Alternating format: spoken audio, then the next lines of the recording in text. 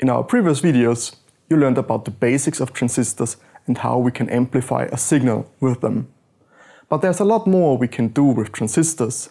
From building current sources over duplicating a current to bandgap voltage references. Join us again for more transistor circuits.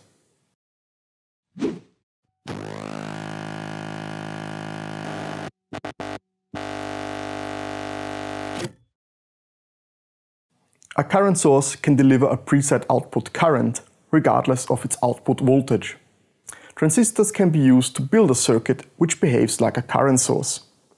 All we need is a voltage source, resistors, and of course a transistor. For this example, we will use an NPN bipolar transistor. We wire them like this and analyze how the circuit works. The voltage source provides a constant voltage which is high enough to forward bias the base emitter diode of our bipolar transistor. Assuming a constant base emitter voltage VBE of 0.6 to 0.7 volts, we can calculate the voltage at resistor RE. The current IRE flowing through this resistor equals VB minus VBE over RE. If the voltage VB remains constant, so does the current IRE. The base current is obtained via the current gain beta. With the currents flowing through base and emitter, we can solve for the collector or output current, Iout, which equals IRE times 1 minus 1 over beta. The last term, 1 over beta, can be neglected and we can state for the output current I out equals IRE this current does on first glance not depend on the load RL, which meets the requirements of a current source. We can also adjust the output current by either changing the voltage VB or the resistor RE. But the circuit has its limits. The voltage at the output Vout must not drop below a certain minimum voltage. Otherwise, the bipolar transistor no longer operates in the active regime but in saturation and the output characteristic of our current source might look like this. In saturation, the bipolar transistor shows strong variations of collector current with respect to its collector emitter voltage. We can translate this to a minimum and maximum load resistance for our current source. While the current source has no problem handling a short as its load, there's a maximum resistance we are allowed to connect to the output. The lower boundary for the output voltage is governed by the saturation voltage of our bipolar transistor. This means the minimum collector-emitter voltage for which the bipolar transistor operates in the active regime. So we can calculate the minimum output voltage. Hence the voltage VB influences the output current and the minimum output voltage. Besides the minimum output voltage, Another crucial quantity for a current source is output current stability. We could ask how much the output current changes when we manipulate the applied output voltage. Of course, we want this change to be as small as possible. Part of this change can be seen in the output characteristic of our bipolar transistor. If the collector-emitter voltage changes, so does the collector or output current. To circumvent this problem, we try to stabilize the collector-emitter voltage. When we achieve a constant output current, also the voltage drop over Re is constant and the potential at the emitter is stabilized. Thus, it is sufficient to pin the potential at the collector of our current controlling transistor. To do so, we just add another bipolar transistor to our circuit. Any change in output voltage changes the collector-emitter voltage of the second transistor T2. The collector-emitter voltage of the current controlling transistor T1 is pinned to VCE1 equals VB2 minus VBE2 minus VRE.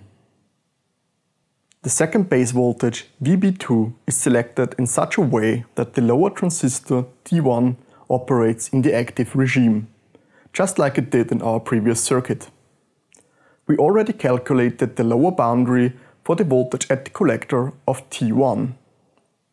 We add the base emitter voltage of T2 and get the minimum second base voltage VB2. By adding transistor T2, we decrease the change of output current as a result of varying output voltage. But we have to trade the minimum output voltage of our circuit for a more stable output current, as also T2 must operate in the active regime. This circuit is known as a cascode current source. Generating a current is a nice thing, but especially in integrated circuit design, circuit performance depends on the relation between two quantities and less on their absolute values. And here lies the problem for our current source.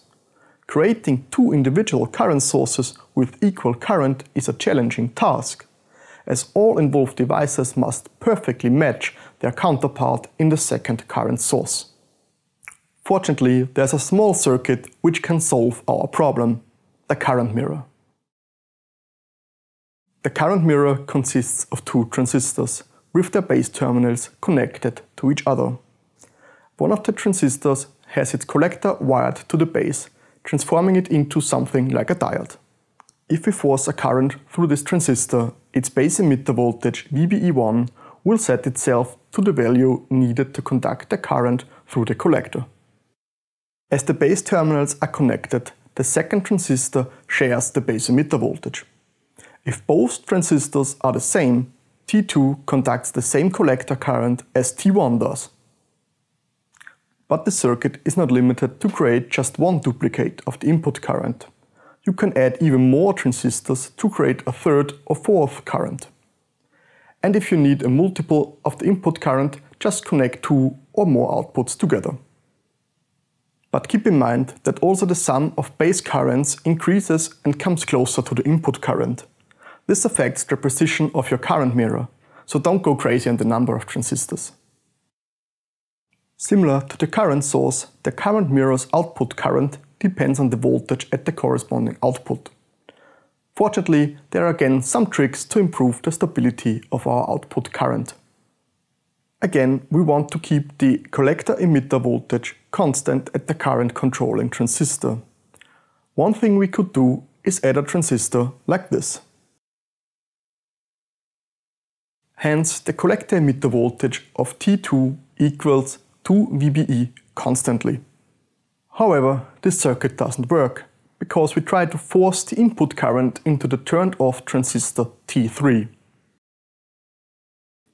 But we don't give up easily and play around with the circuit. And once we swap input and output terminals, the circuit starts working. This circuit is known as the Wilson current mirror, a simple but smart circuit to generate a constant output current. Now we know how we can generate and duplicate a constant current.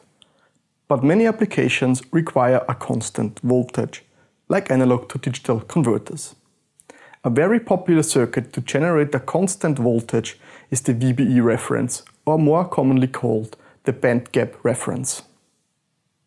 The basic idea is to use the base emitter voltage of a bipolar transistor as a constant reference voltage. Unfortunately, the base emitter voltage depends on temperature and changes about minus 2 millivolts per Kelvin. But if we add a voltage with a positive temperature coefficient, we can use it to compensate. To do so, we design a current mirror with a resistor R1 connected to one of the emitters. The voltage drop over R1 is the difference between VBE1 and VBE2. Expressing the base emitter voltages by the currents, and calculating the difference yields delta VBE, the voltage drop at R1.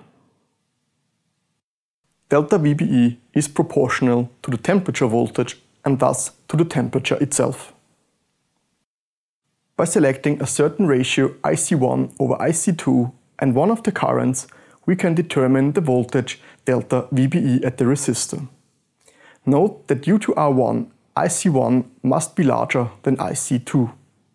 The resistor itself is of course determined via Ohm's law. When the temperature changes, so does the voltage at the resistor, and consequently also the current. Neglecting the small base currents, the output current shares this temperature dependence and can be used to build our bandgap.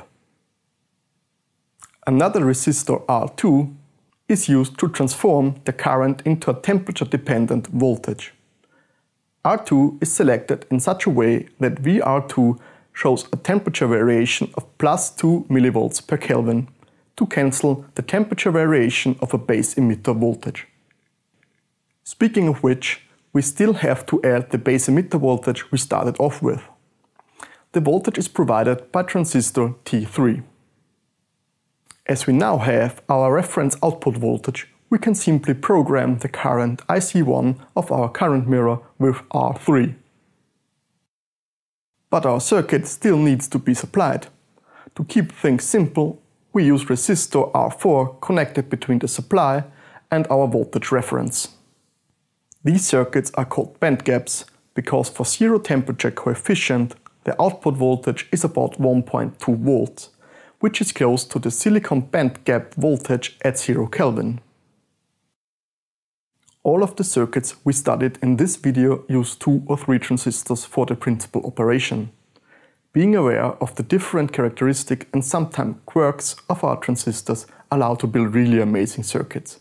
And who knows, maybe sometime from now there's a video detailing the principle of your circuit. I'm Patrick with the Institute of Electronics. I hope you've learned something today but anyway, thanks for watching. If you want to learn more about transistor circuits, we highly recommend The Art of Electronics by Horowitz and Hill, as well as Elektronische Schaltungstechnik by members of our institute.